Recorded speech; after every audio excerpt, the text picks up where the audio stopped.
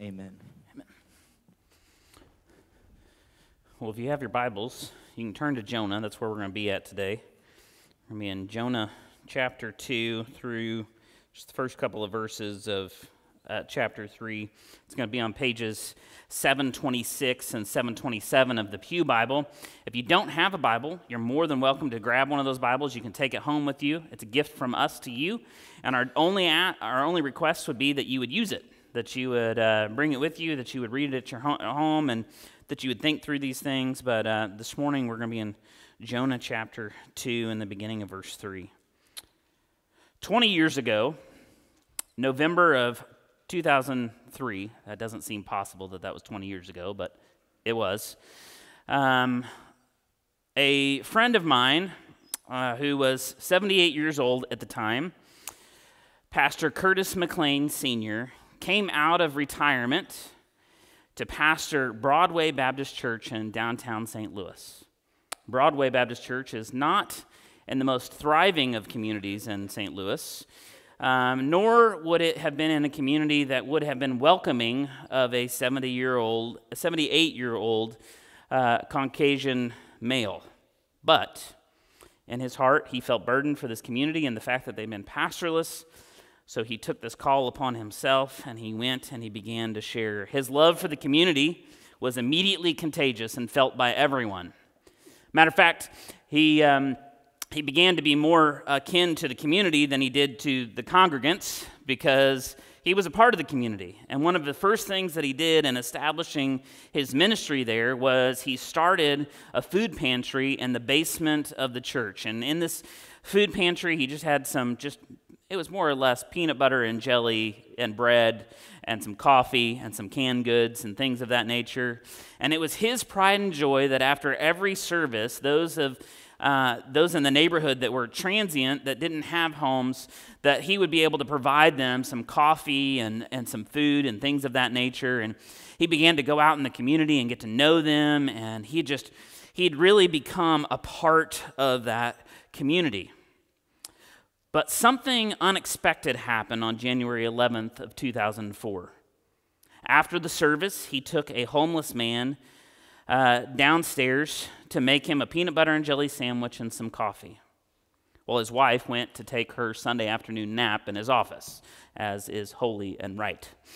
Uh, when she awoke several hours later, she found her husband in the basement, unconscious, covered in blood and coffee grounds. The transient man had beat him over the head with the glass coffee jar and had taken his wallet and keys and she walked outside to find his car missing.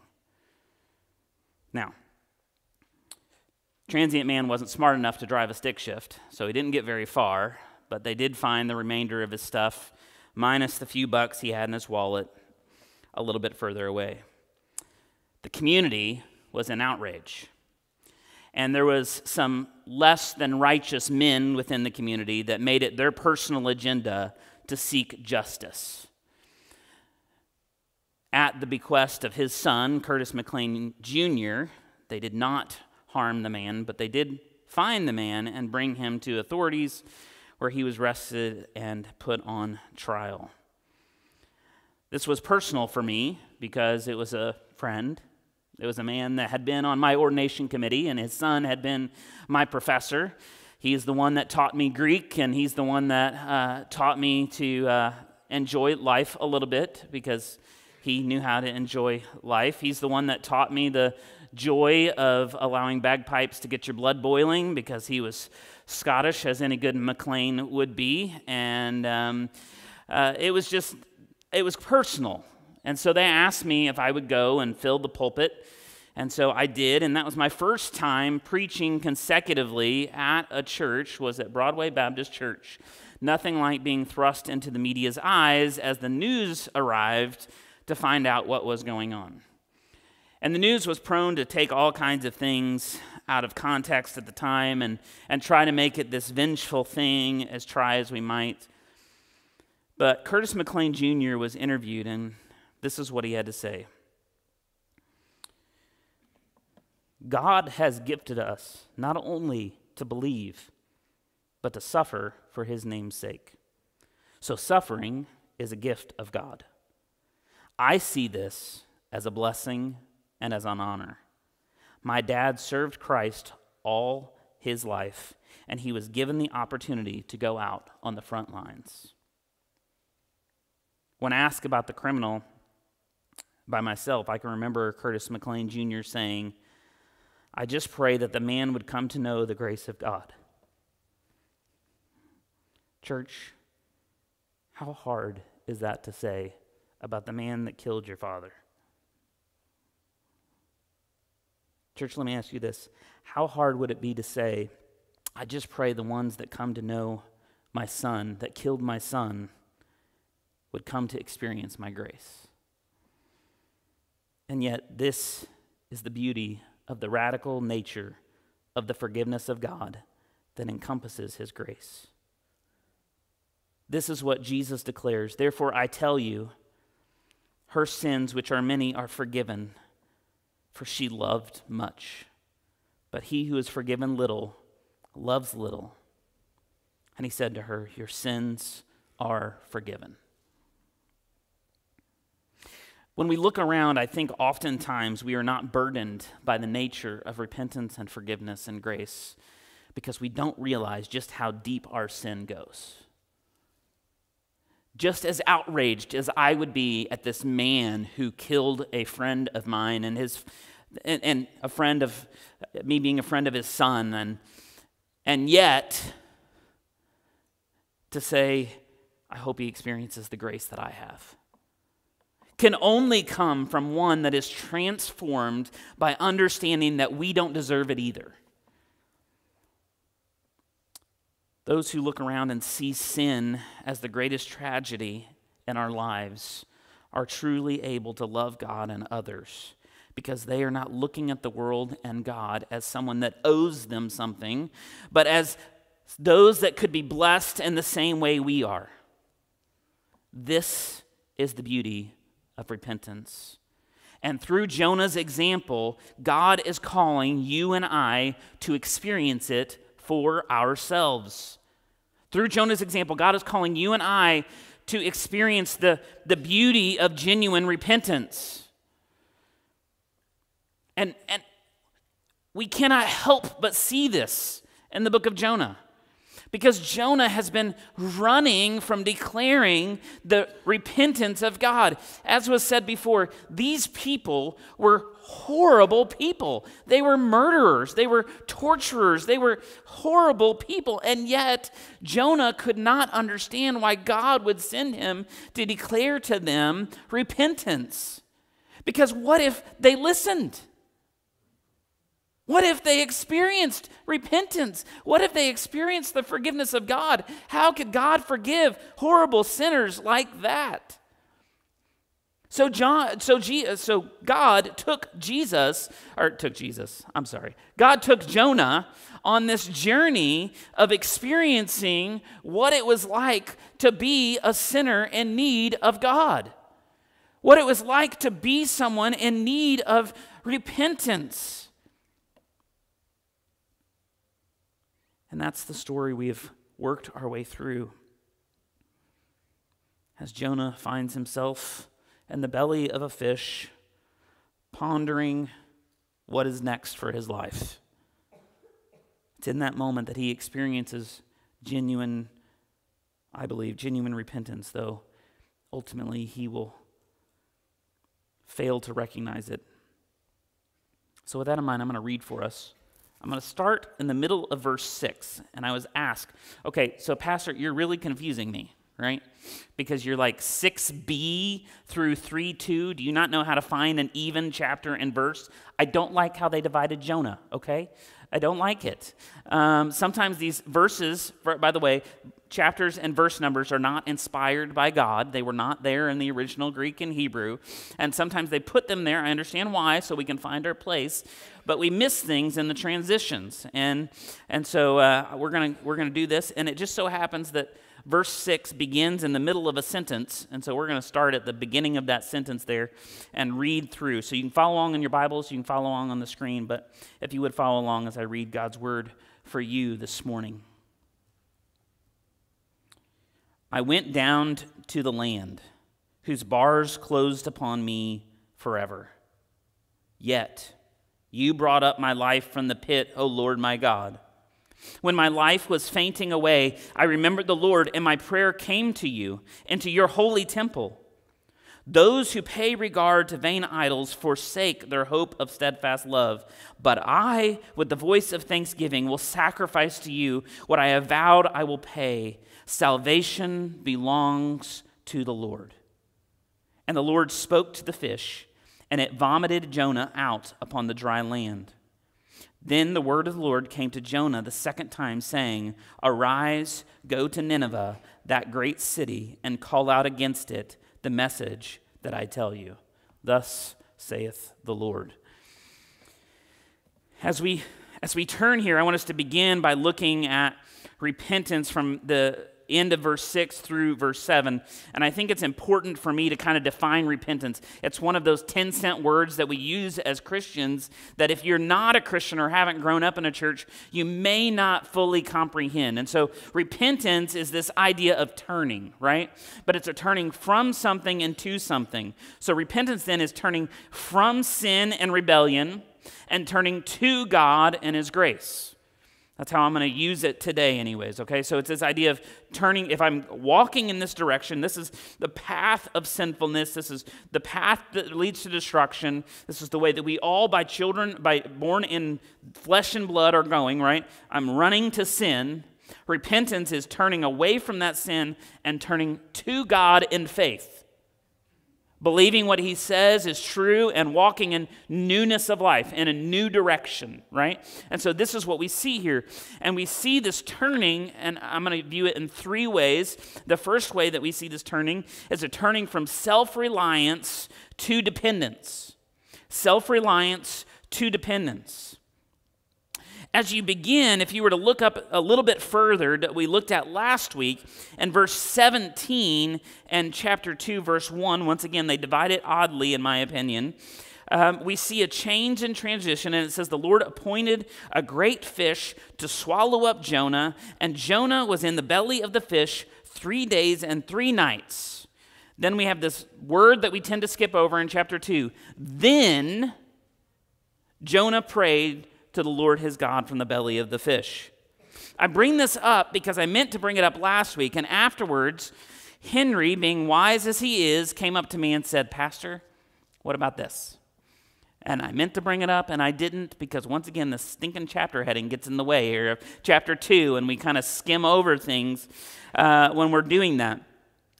There's this word there. Then Jonah prayed to the Lord. Three days in the belly of the fish, and as John and I were talking, it's probably not what's pictured in the movies and on like the little cartoon things in our Sunday school classes, right? Right? It's probably not what's pictured on VeggieTales. I know I keep picture, uh, picking on VeggieTales, but you know, in VeggieTales, there's like this whale. He's swallowed up by this whale, and inside the whale, there's like ships that are wrecked right? And there's this great cavernous space, and he's like talking to his little worm friend, right? And because worms can talk and vegetables. But, um, you know, he's talking, and, and we have this idea that it's like, yeah, it's, it's uncomfortable. But he's breathing air like normal, and he's, he's talking, you know, to, to himself, if you will, and he's got plun, ton, tons of space. Odds are he was swallowed by a fish, and he's like smushed, right? Like there's not room for him to move. And it says at the beginning that he's got seaweed wrapped around his neck and his head, right? And he's probably covered in mucus from the, you know, like the fish is trying to digest him, right? Like I, I know this is grotesque for a moment, but I need you to understand just how awful this moment was. And he is like this. There's, this, there's no lights on by the way.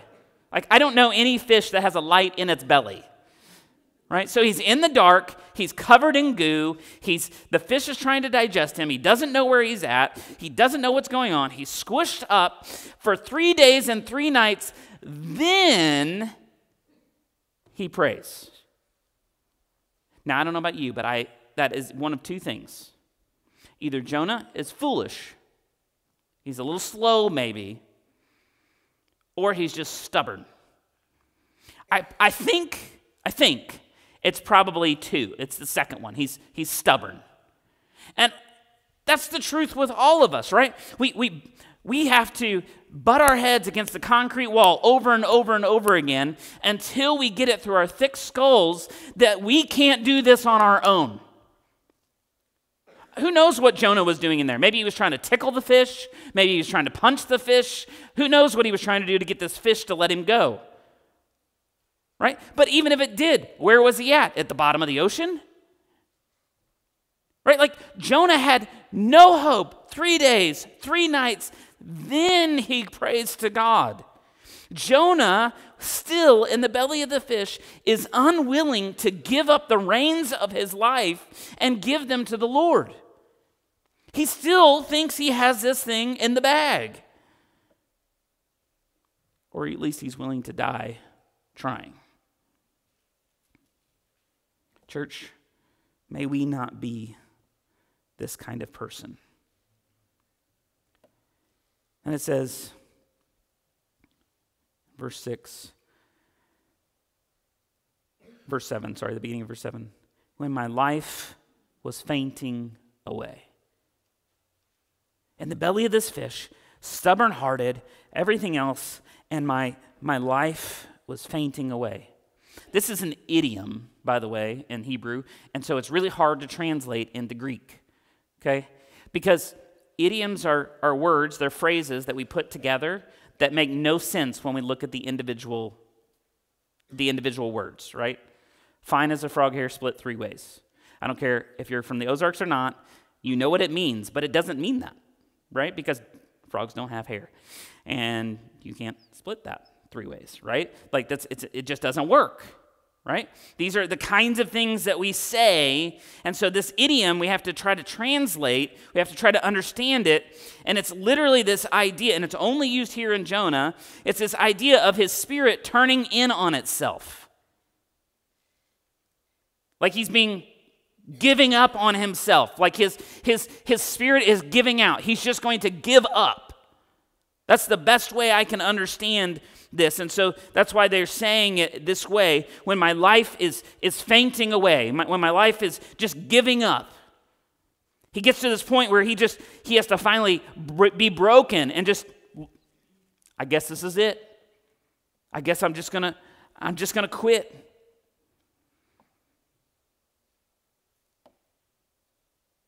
Then it says, I remembered the Lord then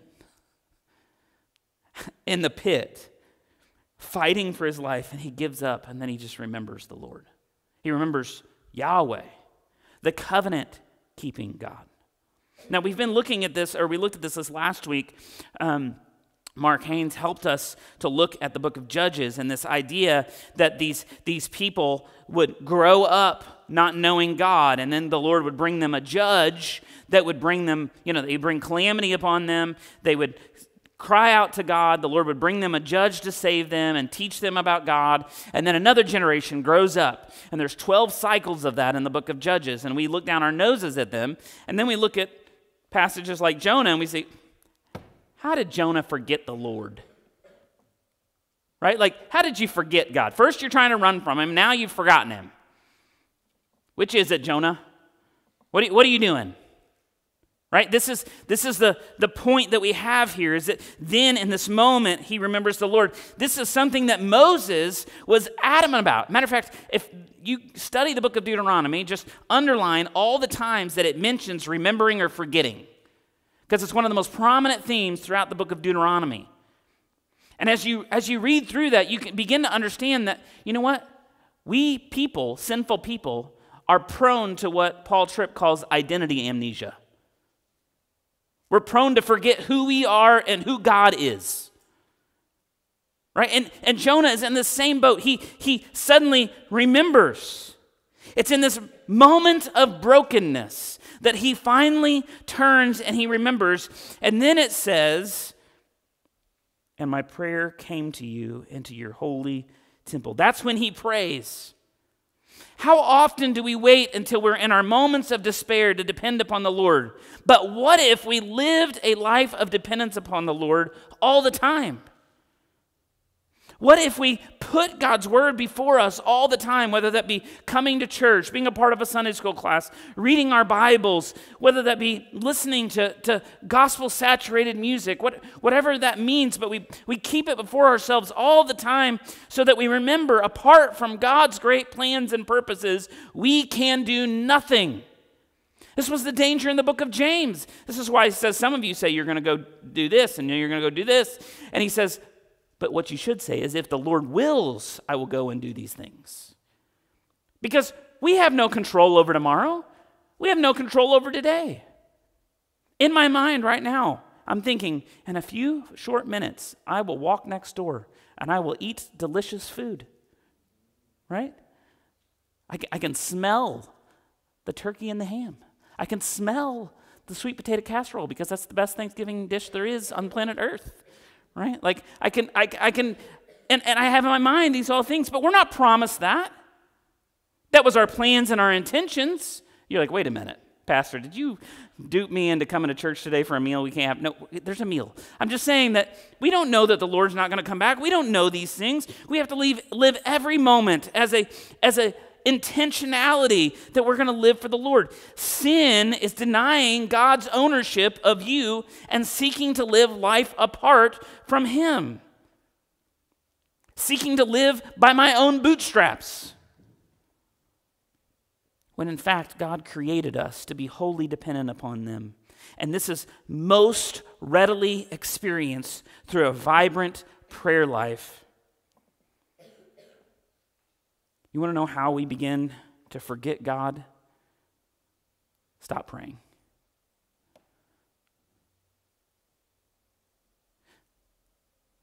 If you read the statistics over prayer in America, you can understand why we are in the situation we are in. I'm not talking about non Christians, I'm talking about church people. When they're questioned about their prayer life, it is one of the most discouraging things to read. And I know as a church we harp on prayer all the time, but, but prayer is a reminder. Prayer does not change the heart of God, prayer aligns me with what God has already promised. Prayer changes my heart. It helps me be in dependence upon God.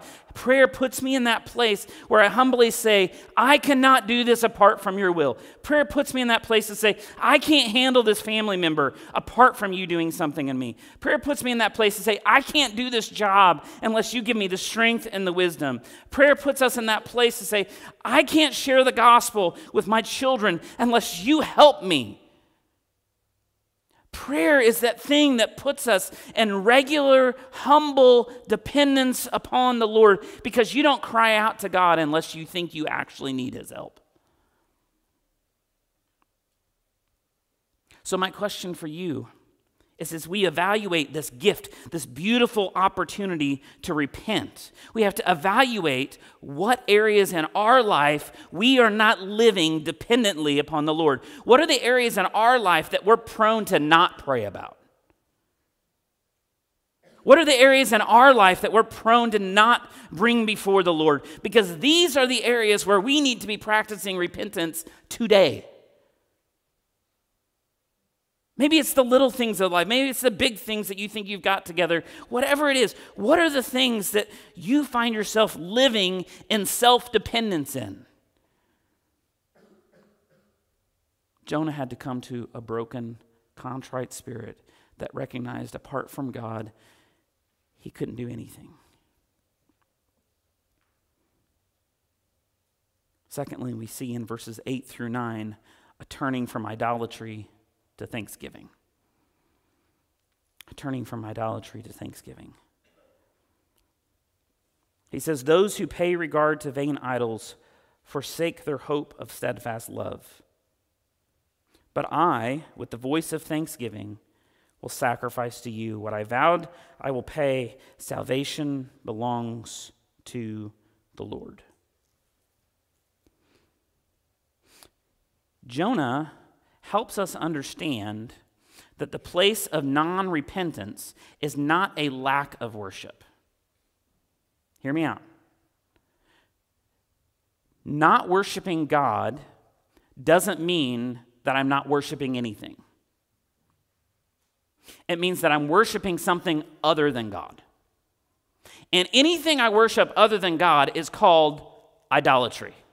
Now, we think when we talk about idols, we think about, you know, these what we might see in India up on the shelf with all these little figurines and everything else, and they light candles and, and do different things, and they, they have to feed them every day, and they have different little rituals that they do, and that's how we, we think about idols, right?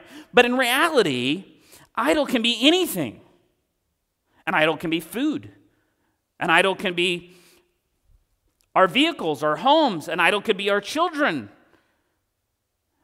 We can make anything an idol. Just, it's Christmas time. So read your papers with this in mind. Anything I think can change my life more than God can is an idol. I remember years ago there was a TV commercial that came out, and it was this idea of change your TV, change your life. And I thought, really, that's all it takes? For a few hundred bucks, I could change my life by having a better TV. I can be more attached to that thing on my wall, right? I can, I can go and sacrifice my time at the altar of the great LED TV. Right? Like this is I, I, jokingly say that, but those are the kinds of things that capture our heart. One author says this that the heart is a perpetual idol factory. We just produce one thing after another that we're going to worship. We get rid of this thing and then we produce another thing. We get rid of this thing and we produce another thing. Jonah is saying that if I'm going to repent, then I have to turn from my vain idols. I have to turn away from those things. I love the prophets and how they talk about idols. Because children in the room, if you want to like make a funny comic, just read the prophets and how they talk about idols. Isaiah does it, Jeremiah does it, Daniel does it. They all do it, right? Uh, let me just read to you a portion of, of Jeremiah so that maybe we would just realize how foolish our idols are here. Jeremiah chapter 10, verses 2 through 6. Thus says the Lord Learn not the way of the nations, nor be dismayed at the signs of the heavens, because the nations are dismayed by them. For the customs of the people are vanity. A tree from the forest is cut down and worked with an axe by the hands of a craftsman. They decorate it with silver and gold. They fasten it with a hammer and nails so that it cannot move. Their idols are like scarecrows in a cucumber field.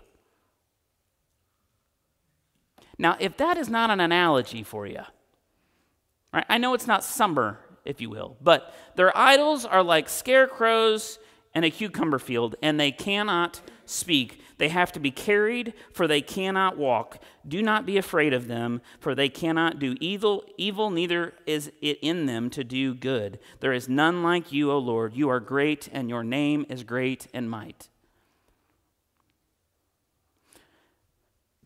Jeremiah says, These idols that we worship, these false things that we worship in our life, are like a scarecrow in a cucumber field. Right? Like you got all your cucumbers laid out there, right? And all the vines are all over the ground.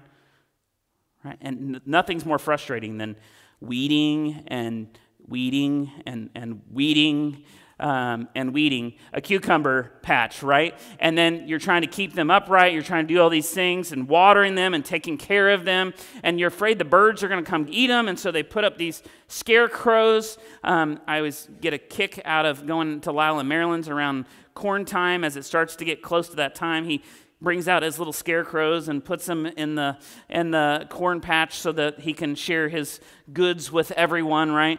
And and, and inevitably he'll go out there and he'll see that some raccoon or groundhog or or bird has wised up to realize that this thing is fake.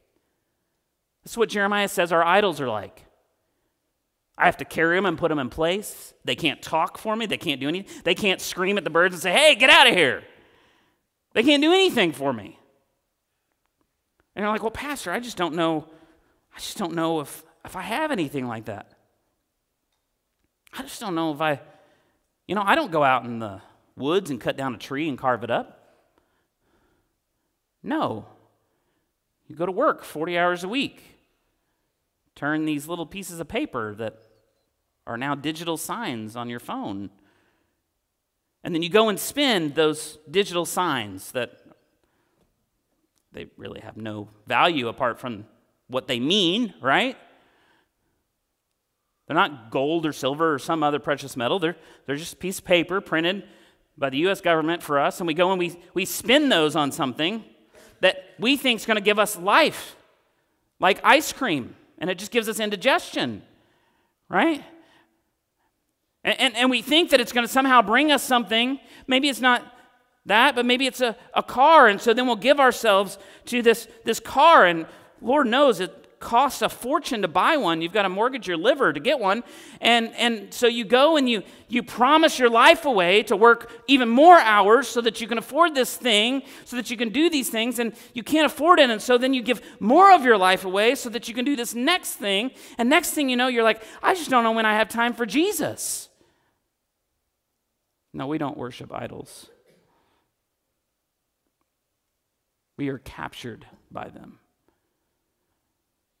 We're enslaved by them. And Jonah says, Those who pay regard to vain idols forsake their hope of steadfast love. They forsake their hope of grace. Because instead of understanding that nothing we have is ours, instead of understanding that we cannot earn enough things, they forsake all of that rest that is in Christ Jesus and knowing that He has given us every spiritual blessing in the heavenly places, and they begin to work for vain things that leave them feeling empty. They long for something else to fill their hearts or their lives. They long to have greater and greater. And instead of being content in the Lord, they find themselves discontent and always looking for more, bigger, better, shinier, newer. And yet, as Jonah says, idolatrous worship always leaves you feeling empty and complaining about needing more. Look to the areas of your life where you allow yourself to fret and worry and complain, and you will find the idols in your own life. What they cannot fulfill, God can. So Jonah is telling them, you know, these, these people pay, vain, pay regard to vain idols and they forsake their hope and steadfastness. I think he may have in his mind those, those pagan mariners he just got off the ship with right? They were crying out to all their idols, and they found them empty. They couldn't save them. And then he says, But I, with the voice of thanksgiving, will sacrifice to you. This is what false worship is. I'm going to turn from that and I'm going to turn to genuine worship. And that means that I'm going to sacrifice with a voice of thanksgiving. One of the best ways to turn from idolatry is to turn to gratitude. Because idolatry always tells you you don't have enough. But God always tells you you have everything you need. God tells you, I am sufficient. God tells you, rest. I've accomplished these things. God tells you, I have the whole world under control. But these idols tell you you need to do more. It's going to fall apart. You can't do this. It's not going to work. You, you need to do you need to make more money. You need to do more things. It's never going to be enough. He says, "But I with a voice of thanksgiving will sacrifice to you." It's not that God would repay him. But he sacrifices because God has already done more than he could ever imagine. Turning from idolatry to thanksgiving leads us to obedience. it leads us to obedience. There's a difference when I tell my children, go clean your room, and then you can have some brownies. Mom's brownies are always coveted in our house, right? And so go clean your room, and then you can have some brownies. There's a difference in that and saying, if you clean your room, you can have brownies. Do you, do you catch the difference? I think in the Christian life, we think to ourselves, if I pray, if I read, if I go, if I give, if, if, that then we can experience the joy of Christ. Then we can experience freedom. And we make everything in the Christian life a conditional clause. Instead of understanding, like Jonah, the brownies or the joy are waiting for you. Go do these things because they're waiting for you. You've already, doesn't matter how, how good you did or what you did, you've, the brownies are here, they're waiting for you. The joy is ready for you. Church, the glory of heaven is awaiting. It is kept in heaven for you. It is guarded by faith in God, and He has even provided that. Nothing can take it away. No rust or moth can destroy. No thief can break in and steal. It is secured for us. So, all of our obedience is not out of some sort of earning of salvation, but is out of a gratitude of what Christ has already done for us. And then I love how Jonah he ends this prayer. He doesn't say amen. Do we understand what amen means when we, when we pray? Amen simply means I agree. I think sometimes we say it like it's a code, right? It's a Christian code, like, okay, you can open your eyes and lift your head now, right? And, and then if you have to say, in the name of Jesus Christ, because if you don't say that, then you don't mean in the name of Jesus Christ, right? I'm joking by the way. No, we say that because we're reminding ourselves that I pray this not on my own authority or my own value, but on what Christ has already accomplished for me. I come to you under his authority, and I'm praying these things, and amen means, and we all agree. Right? Like, so when somebody in church says amen, that's what they mean is, I agree with you, preacher. In other words, that's a hint. It's okay to say amen at times. Thank you. See? Oh, we got it down now.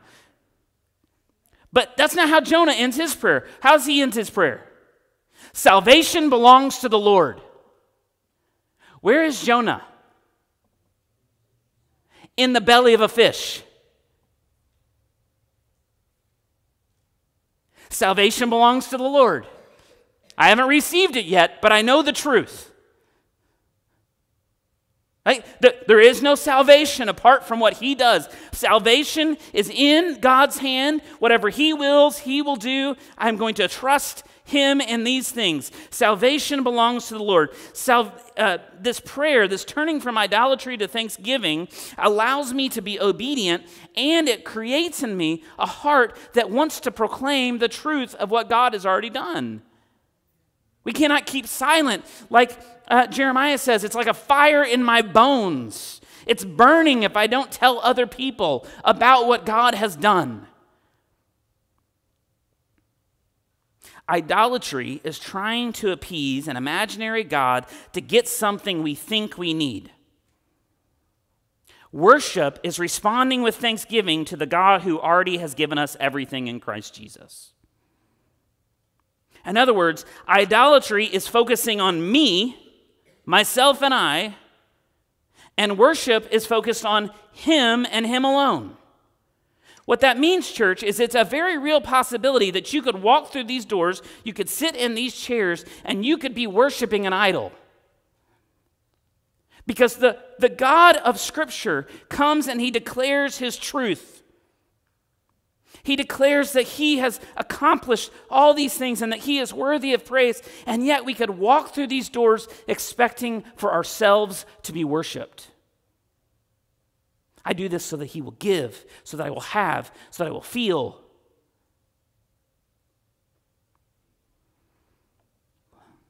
Do your thoughts and words reflect self focus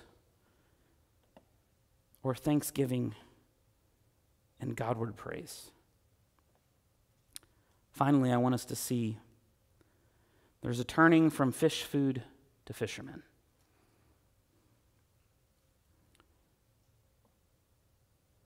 He stops praying, and it says, And the Lord, Yahweh, it's the word used there, is the covenant keeping God's name, spoke to the fish.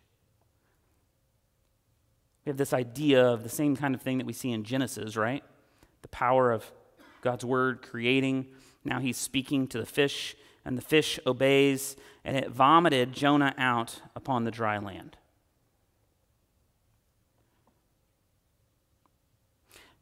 I want to look at this in a couple of ways. Number one, I need us to see that this faithful, covenant keeping God remained faithful to Jonah.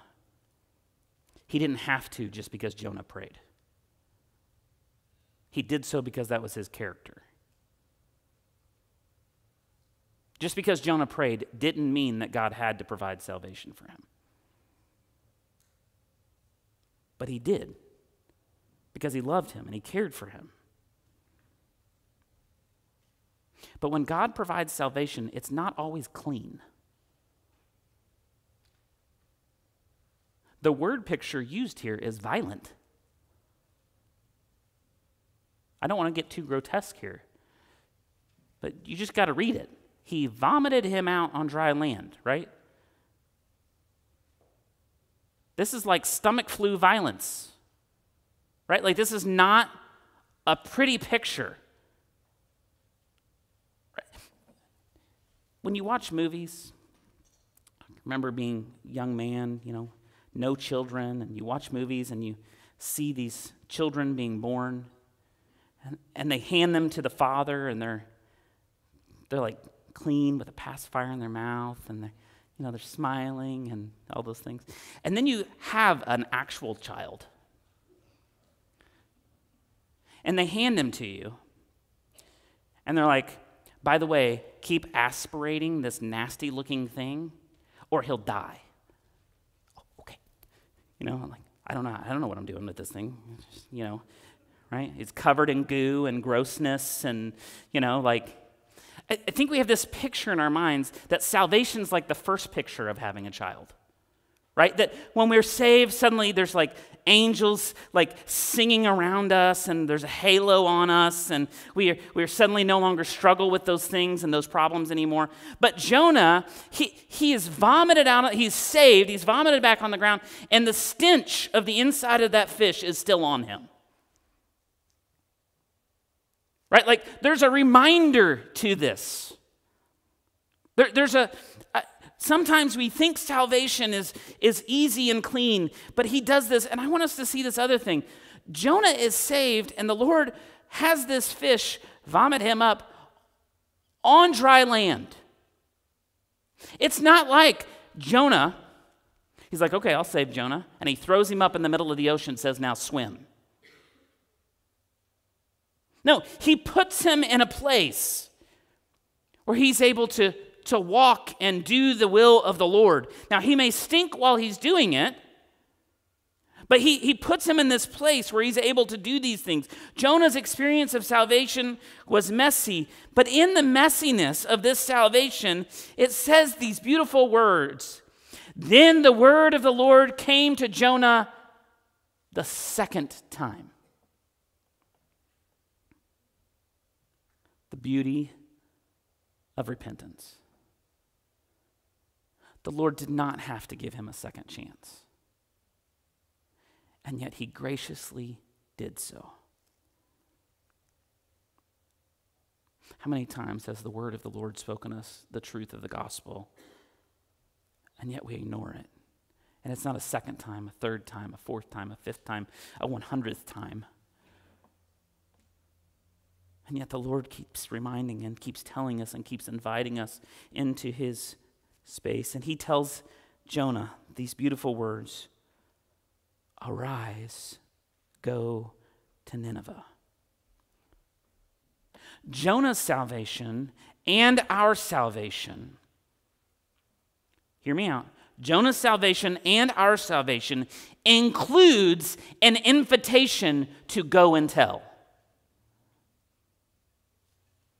It includes an invitation to go and tell. The Lord not only graciously saved a sinner like Jonah that had every good, measurable thing in hand, and yet rebelled against God and did his own thing. He not only gave him a second chance at life, but he also called him to be a missionary. Go and tell other people. That isn't because Jonah was so awesome. That's because God was awesome. Because God could rescue. Because God could redeem. God's salvation was never intended to be independent of his invitation to the world. God uses broken sinners like you and I to reach other broken sinners.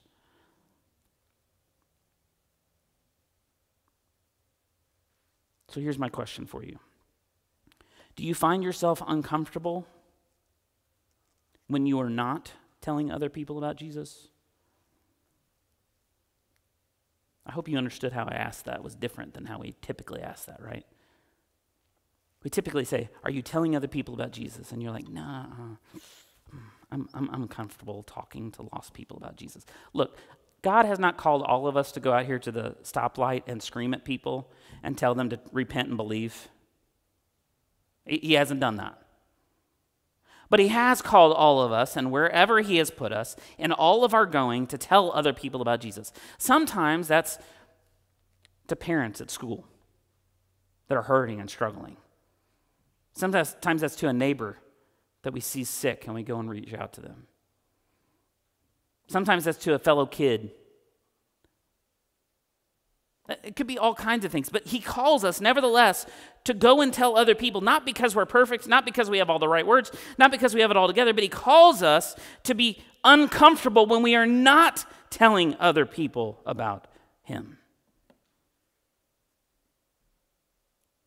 This is a sign of genuine repentance. So, church, are you turning today? Or are you stuck in your own tragedy? The tragedy today would be to know the Creator, know His calling on your life, and to harden your heart to these truths. You see, it took a storm of epic proportions, being thrown overboard into the crashing waves, three days and three nights in the belly of a fish before Jonah would finally come to his senses. But I pray today you would allow the majestic glory of God's grace to break your heart, draw you close, and burden you to tell others about the good news. Do this in three ways.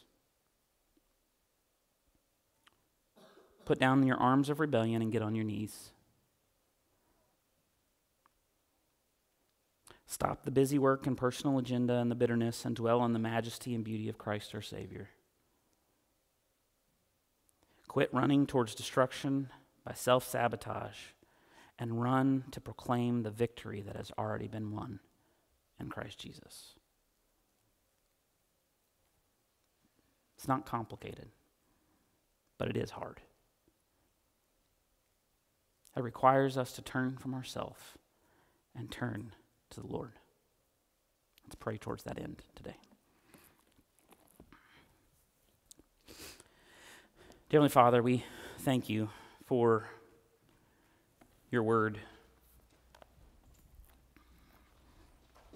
We thank you that it gives us hope.